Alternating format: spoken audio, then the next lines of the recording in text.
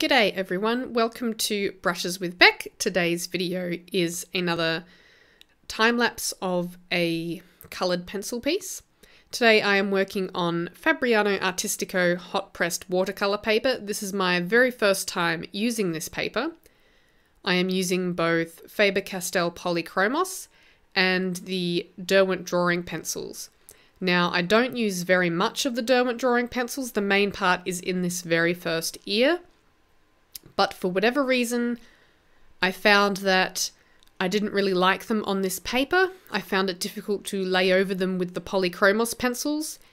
And whether that's just my limited experience with wax-based pencils or a factor of this Fabriano Artistico paper itself, I'm not 100% sure, but I wasn't a big fan of the result, so I basically stopped using the Derwent drawing pencils for the rest of the piece.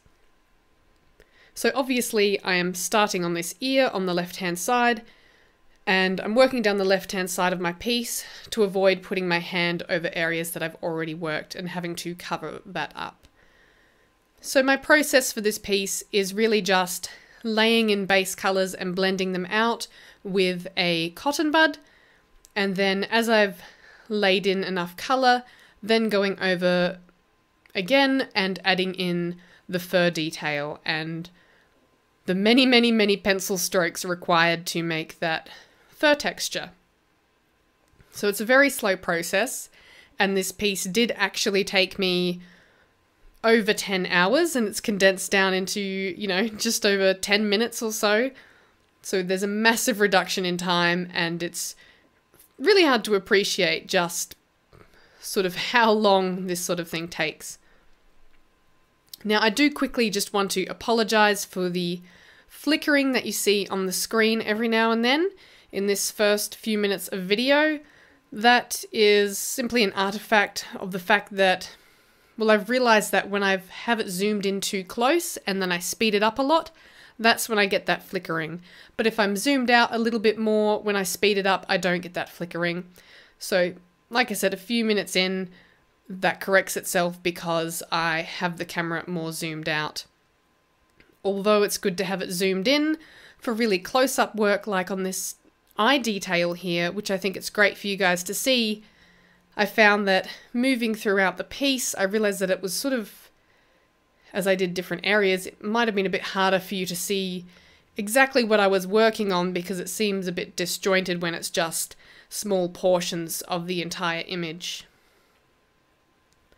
So this piece that I'm working on is A4 size. As I said, it's Fabriano Artistico, and I'll have to use the paper more before I decide how much I like it because if you may have noticed in this area here where I laid in some greys, it was a little bit blotchy. And I'm not sure whether that's a result of my technique using the dry blending with the cotton buds, making it a little bit blotchy, or whether that's the paper itself. I did have that issue a little bit throughout the piece as I laid in more colour and layers. Sometimes it didn't even need that many layers before it got a little bit blotchy. But that was a, one little concern of mine, and I'm, like I said, I'm not sure whether it's my technique or whether it's this paper and I'm just not used to using it, but it's certainly something I need to explore more the next time that I use this paper. This section here is what I mentioned before about it seeming disjointed when I'm zooming in too far. This is the bottom left of the piece. You're seeing what I'm working on right there is her front leg. And behind that is the arch of her back. Same process as before on the face, laying in some base colours, building up that colour, building up that colour before going in with the detail for the fur. Now, while working on this piece, my technique did develop a lot.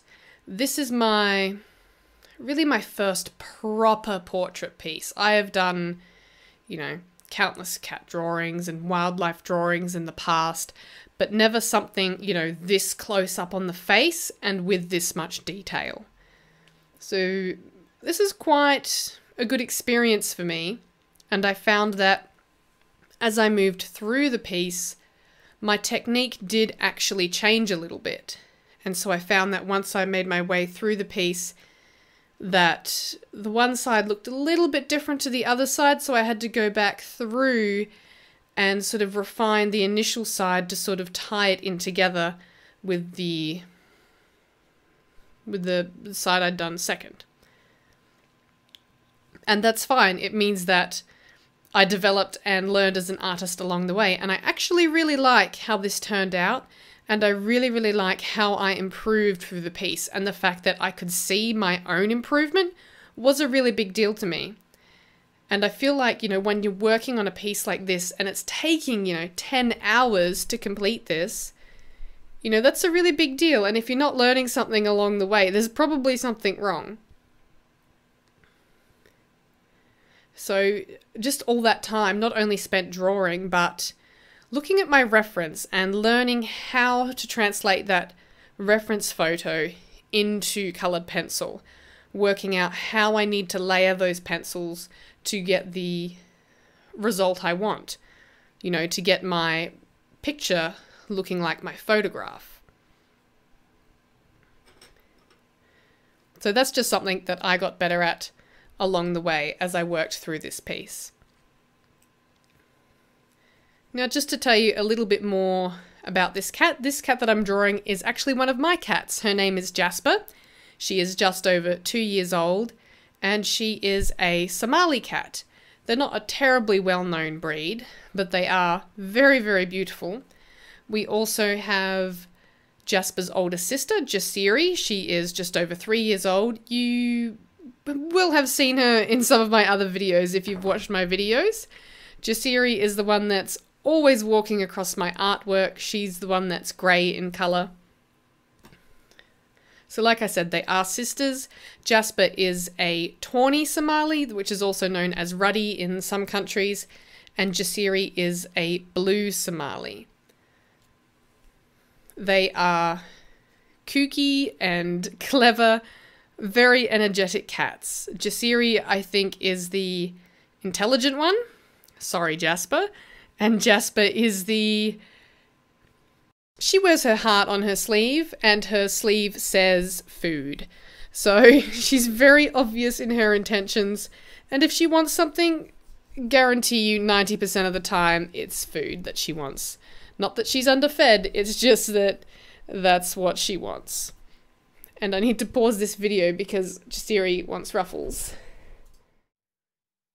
Like I said before, you might be able to see how I said that the two sides of the picture didn't marry up quite well as I worked through, and you can see developing on that right hand side the warmer tones. It's a little bit more yellow, a bit more orange, and the left hand side is a bit more reddy brown. And that's simply my technique has changed as I've worked through the image because I am learning as I'm going. I'm developing, better working out how to achieve the result that I want, which is why my technique has changed. And the colors slightly altered because I'm seeing things a bit differently. I'm learning what to look for more. I'm seeing different things than I was before. So I have to work through the other side of this piece, work in some of those warmer colours to tie it all back in together. But you can see that working on that fur through the, the side of the neck there, that my technique has improved. It looks a bit more realistic, less clumpy, but more natural. Whereas before the clumpiness was a bit, it didn't really make much sense. It was just kind of there.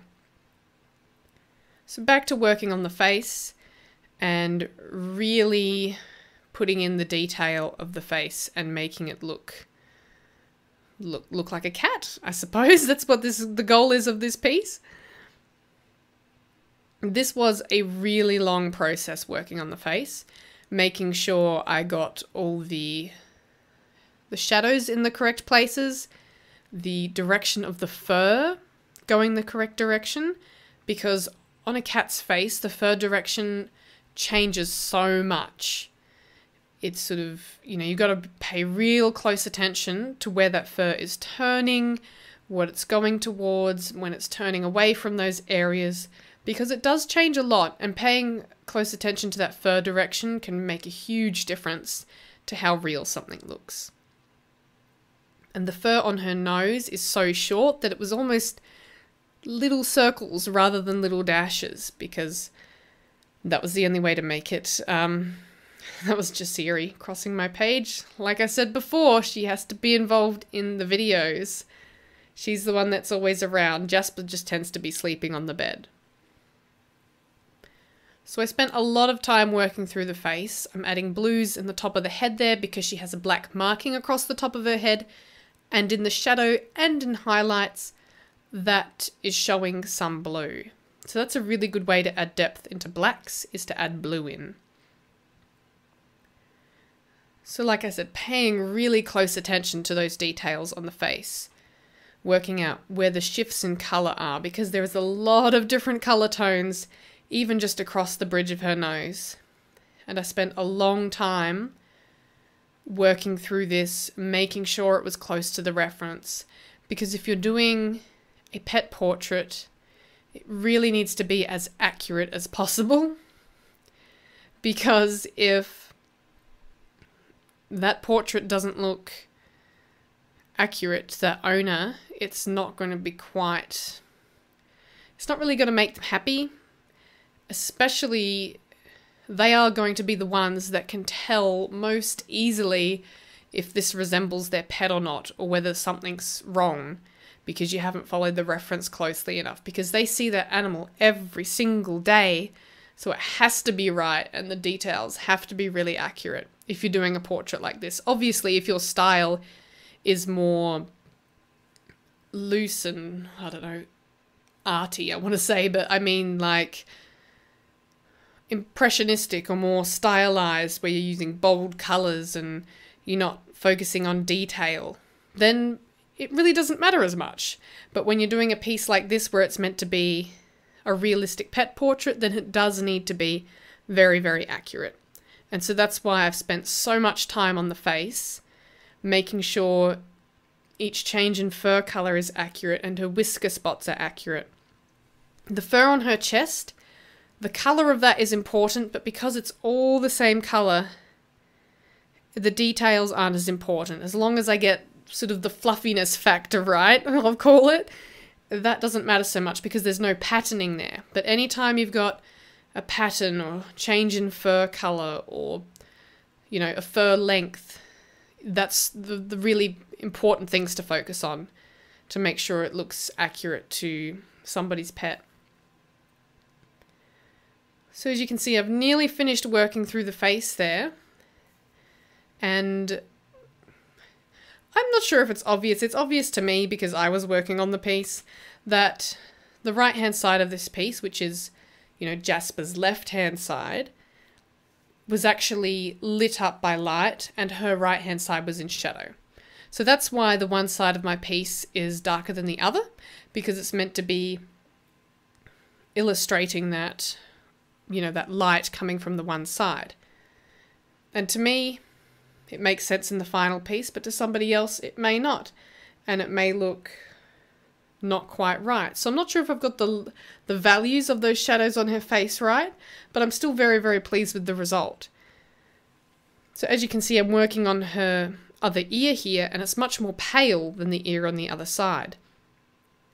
The details are more of her light fur inside her ears is softer because, you know, the light's hitting it all, whereas on the other side, the inside of her ear is in very deep shadow, and those white fur, those white hairs inside her ear stand out a lot more. But on this ear, they don't. It's much more, it's much softer. So as I mentioned earlier, I'm going through this chest fur and adding in some warmer tones on the one side to tie it in with the right hand side just to make sure that all looks like it's one cohesive piece because it didn't so much before. And like I mentioned before, darkening up those shadows a bit and just refining any details that I can see that need refining before I call this finished piece. Now with the whiskers, I did actually emboss them before I started, but it didn't quite work out whether I didn't do it hard enough or it wasn't, you know, a wide enough embossed crevice. It didn't quite work out, so I went and used a very sharp pencil to get my pencil inside those embossed lines to bring out those whiskers. And that worked okay because I was able to get some white pigment into those lines and bring out her whiskers a little bit. So there you have the finished piece. I do hope you like it. Please give this video a thumbs up if you enjoyed it. Leave a comment down below, subscribe to my channel. If you do subscribe to my channel, please click on the notification button so you'll get notified anytime I upload a new video. I do upload every single week. Just before I say goodbye on this video, I just wanted to say a huge, huge thank you to every single one of my subscribers. Thank you so much. I have reached 100 subscribers, which is a really big milestone for me and for this channel. And that's all thanks to you guys. Thank you to anyone who isn't subscribed but maybe commenting or liking my videos. I really do appreciate that too. And here's hoping we reach another milestone soon. So once again, thank you very much for watching. I hope you've enjoyed this video and stay creative.